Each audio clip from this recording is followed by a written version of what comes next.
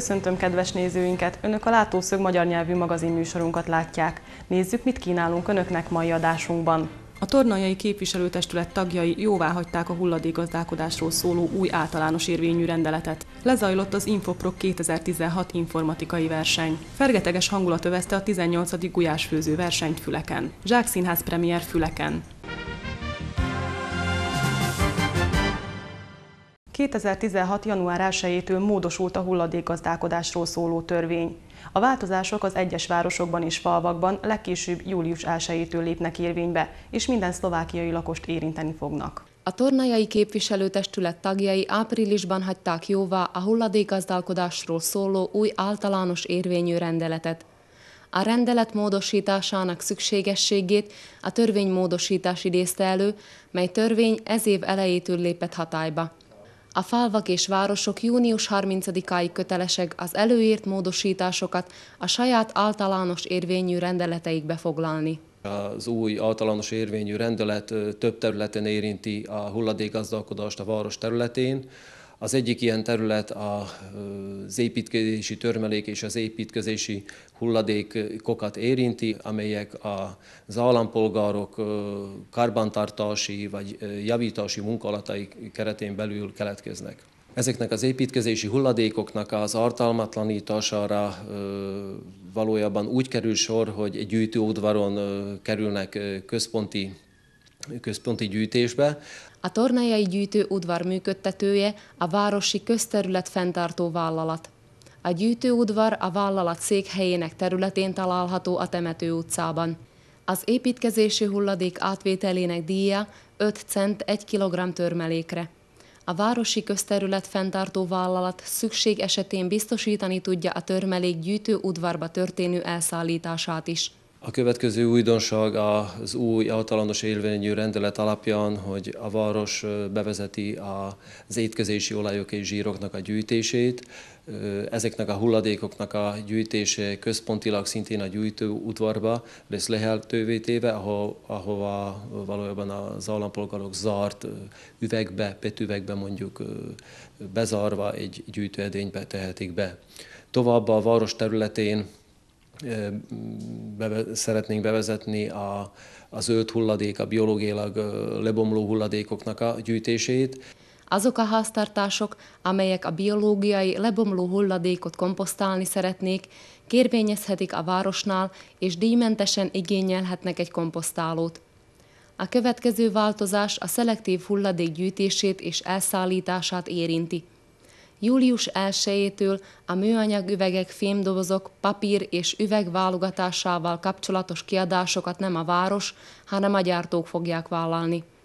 A város vezetése kéri a lakosokat, hogy a változásokat tartsák be, mert az általános érvényű rendelet megsértéséért büntetések kiszabása várható.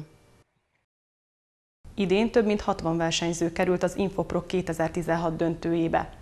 A 21. alkalommal megvalósult informatikai verseny a Füleki Gimnázium, a Pénzügyi és Számviteli Főiskola Salgó Tarjáni Intézete, valamint a Rákóczi Szövetség közös szervezésében 21. alkalommal valósult meg.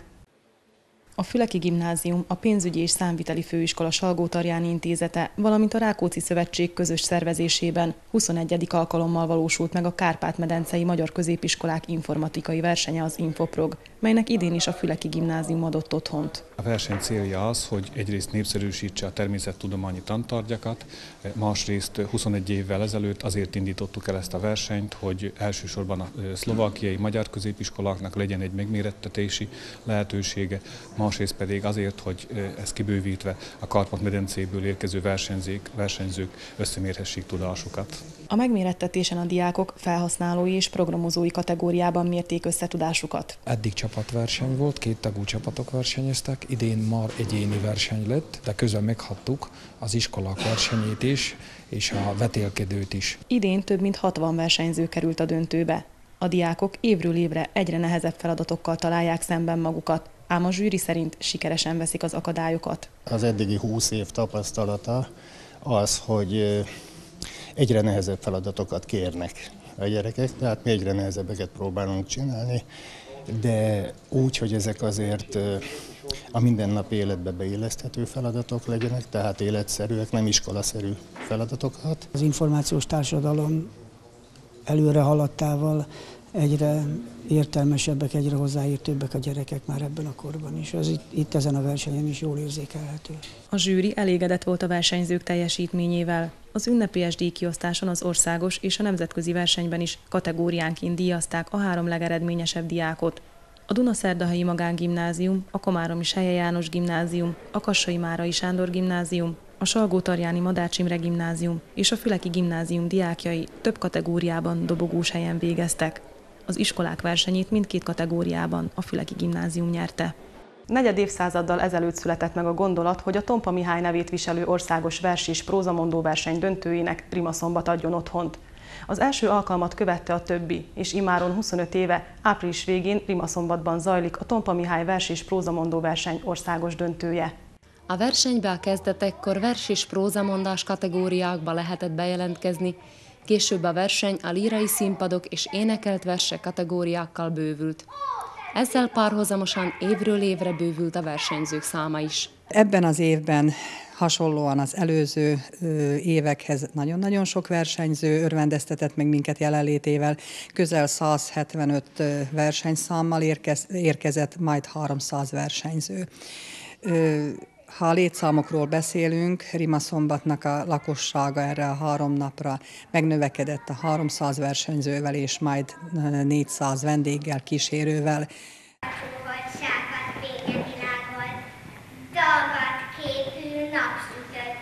Nem csak a verseny nyitóestje zajlott a jubileum jegyében, hanem a többi kísérő rendezvény is erre való tekintettel lett összeválogatva. Csendes László és Benkő Géza irodalmi előadások, a Kicsi Hang koncertje, kézműves foglalkozások, gyermekjátszó sárkak, a Csavar Színház előadása és még sok más program gazdagították a rendezvényt. Emlékeztünk az elmúlt 25 évre volt versenyzők segítségével, villanások címmel nyitottuk meg ezt a háromnapos rendezvényünket, ahol régi versenyzőjeink örvendeztettek meg minket valamikori versenyszámaik bemutatásával. A szervezők hálájukat és köszönetüket fejezik ki minden érintetnek az elmúlt 25 évért. Manócka, kedves Manócka, de jó, hogy így maradhatok. Hova is mentem volna? Mivé is lettem volna? Mindenkinek, aki ennek a versenynek a szervezésében részt vesz, a Csemadok Rimaszombati területi választmányán belül, annak a 30-35 fős tímnek, csapatnak, akik komolyan dolgoznak novembertől, a háromnapos versenyünk, fesztiválunk létrehozása, megszervezésén. Szeretnénk megköszönni Kamenár Évának, aki 25 éven keresztül a műsorunk segítője volt, dramaturgia volt, ő úgy döntött, hogy nyugalomba vonul, megpihen, most köszönjük neki az eddigi munkáját, és bízunk benne, hogy vendégként ellátogat a további évfolyamokra is hozzánk, és élvezni fogja most már nézőként ezt a programot. A szervezők továbbá köszönetet mondanak mindenkinek, aki anyagilag, erkölcsileg támogatja a munkájukat. És persze nem utolsó sorban minden versenyzőnek, akik nélkül a verseny meg sem élhette volna ezt a jeles jubileumát. Május 7-én a Füleki várudvarban ismét a gulyásé volt a főszerep. 25 csapat, incsiklandó magyaros étkek, fergeteges hangulat jellemezte a fesztivált, melyet idén is nagy érdeklődés övezett. A szervezők örömére egyre több fiatal vesz részt a rendezvényen, így garantált az utánpótlás.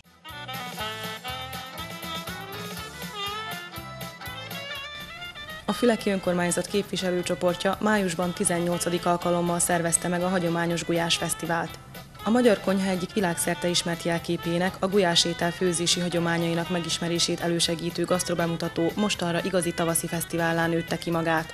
Az állandó résztvevők mellett idén Magyarországról, illetve környékbeli falvakból is érkeztek érdeklődők.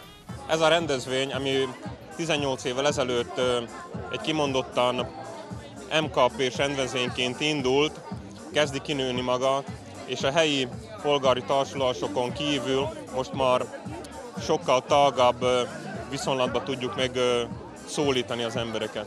Nagyon jó kis közösségek működnek Füleken, akik szeretnek együtt beszélgetni, szórakozni, eszemiszom, kóstolgatni, úgyhogy nagyon nagy a látogatottsága az idén is 25 csoport nevezett be, úgyhogy számunkra ez megtiszteltetés. És hogy mi szükséges a részvételhez? Legalább három fős csapat, a főzéshez szükséges alapanyagok és a gulyásfőzés fortéjainak ismerete sem árt. Zubka Mátyás az évről évre aranysávos minősítés szerző édesapjától leste el a gulyás csínyát, bínyát. Azt vallja, gyakorlat teszi a mestert. És még valami. Jó gulyás titka egy szóval a kakukkfű, több szóval a gyakorlat és a kakukkfű. Szóval ez egy olyan dolog, hogy 19 éves korom óta főzöm a gulyást, minden évben ragadram valami, vagy apuméktól, mert ugye ők is ma 20 éve főzik a gulyást, vagy másoktól, de mindig egy kis plusz, mindig egy kis plusz jön. Beletesszük a szívünket a gulyásba, a szeretetünket a gulyásba, meg a kakukfüvet. Az idei zsűriben olyan neves személyiségek foglaltak helyet, mint Kerekes Vica színésznő, Nádas György humorista és Csúsz Péter megyei képviselő. Többféle szempontot figyelembe véve választották ki a legízletesebb étket. Az ízösszhang, hogy egybe érezzünk minden, ne lehessen külön érezni egy-egy fűszernövényt, illetve az, hogy milyen állaga van egy pörköltnek vagy egy gulyásnak, hogy az mennyire legyen sűrű, mennyire leveses, mennyire kevésbé. Ezek a kritériumok nekem. A résztvevők közül senki sem távozott üres kézzel. Arany, ezüst és bronzfokozatú oklevelekkel térhettek haza a nevezettek. Az idei abszolút győztes a sídi Bukta-Kukta csapata lett.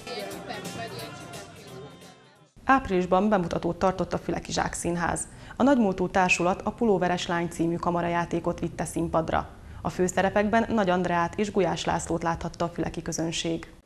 Bemutatót tartott a Füleki Zsák Színház. A Pulóveres Lány című kamarajáték Róz és Cliff találkozásáról szóló kétszereplős darab, mely a két ember egymás iránti vonzalmát dolgozza fel.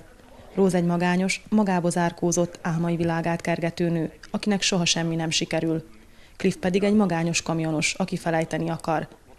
Szeretni már egyikük sem tud, így szinte esélytelenek a normális párkapcsolatra. A darabban Nagy Andreát és Gulyás Lászlót láthatta a közönség. Minden a Brendáé volt? Ez is a Brendáé volt? Minden! A minden a Brendáé! Itt mindenki meghalt a húban, érted mi? A sofőr egy, ő, ő a realitások között él, hiszen mint kamionsofőr létére igazán rengeteg helyen megfordul, előfordul, embereket ismer meg, és ezáltal ő egy kemény, reál ember, aki, aki szinte úgy is viselkedik a egész darab alatt, hogy adja saját magát azt, amilyen kemény az a világ és érzéketlen világ, ő is ugyanez. Róz egy, egy illúzió világba él, ő nem akar egy csomó mindent elhinni a valóságban, hogy ez tényleg így működik. Például álmodozik a farmról, de fogalma sincs arról, hogy hogy tudná jutni odáig, hogy neki legyen egy farmja, meg nyulakat neveljen, nem is akarja. Szóval ő el van a kis világában, ezt élvezi, és uh, sajnos bizonyos dolgokban én is ilyen vagyok, hogy szeretek róla álmodozni. A Zsák Színház tavaly Stephen King Tortúra című pszichotrillerét vitte színpadra. Az idei inkább lágyabb, líraibb darab, kemény mondani valóval. Izgalmas, fordulatokkal telekorrajz, szinte tükröt tart napjaink párkapcsolatai elé. Nem, nem, nem akarok aludni! Nem akarok aludni!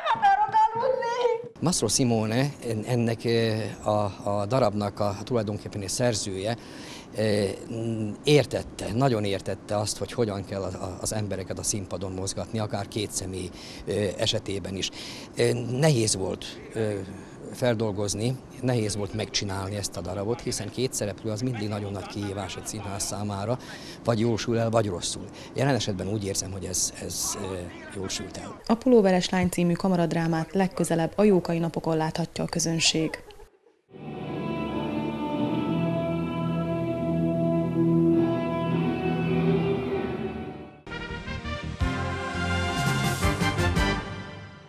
Tornajai képviselőtestület tagjai jóvá hagyták a hulladékgazdálkodásról szóló új általános érvényű rendeletet. Lezajlott az Infoprok 2016 informatikai verseny. Fergeteges hangulat övezte a 18. gulyásfőző versenyt Füleken. Zsák Színház premier Füleken. Kedves nézőink, köszönöm megtisztelő figyelmüket, legközelebb is várom Önöket. Tartsanak velünk akkor is, viszontlátásra!